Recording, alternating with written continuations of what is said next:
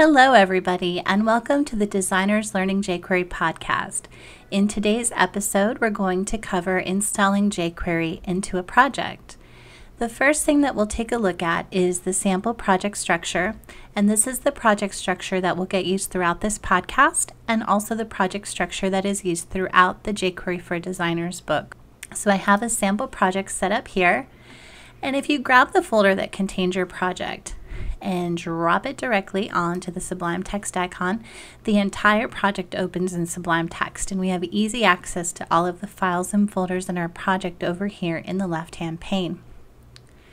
First up we have an images folder which is currently empty but will contain all of the image assets for our project.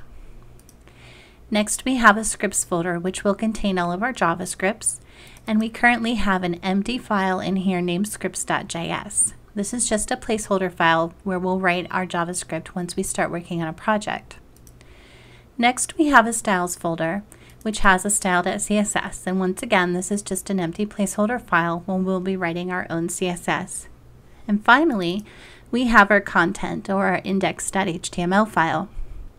And this is just a very short file, but you do see that we have our style sheet attached and we also have our JavaScript file attached. Now let's take a look at the two different ways that we can install jQuery into this project.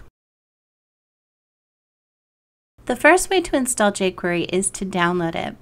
So if we head over to jQuery.com, we can click the giant orange Download jQuery button. Once you arrive on the Downloading jQuery page, the first thing you'll probably notice is that we currently have two different versions or two different branches of jQuery. The main difference between them is that jQuery 2.x does not support Internet Explorer 6, 7, or 8.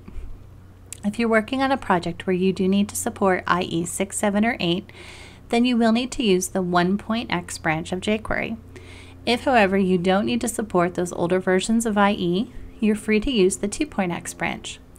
Throughout this podcast and also in the book jQuery for Designers, I use the jQuery 2.x branch. Both branches are being actively developed and maintained and have the same functions and methods, so all the examples will work with either branch just fine.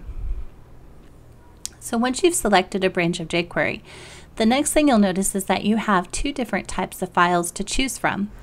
We have the uncompressed development version, which is great if you're learning and would like to read through the jQuery library to understand how it works, or if you're a developer who wants to work on jQuery and help to make it faster, sleeker, or better. The compressed production version is the version that you want to download to include in projects. So we'll go ahead and click that link and the file will download to our computer. Now we can just grab that folder, I'm sorry, grab that file and drop it straight into our scripts folder and it sits alongside our scripts.js. You'll notice that the version number is included in the file name, but that same version number is also included in the file itself, so it's not strictly necessary. I like to remove it and keep my file name short and easy to remember, so let's go ahead and rename that file to jQuery.js. Now all we need to do to use jQuery in our project is to add another script tag to our HTML file with the path to our new jQuery file.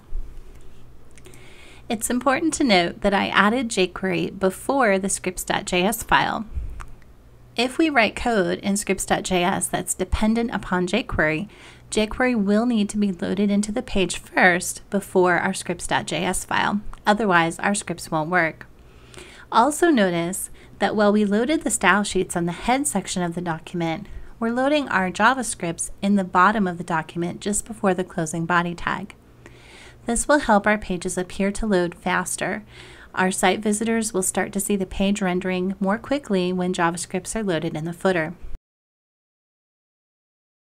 The second way to include jQuery in a project is to include a CDN copy of jQuery.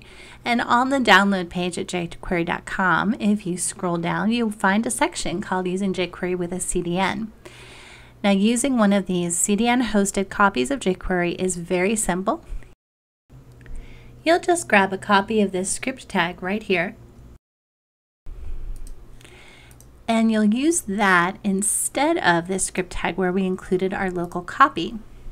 Now, using a CDN has a couple of advantages.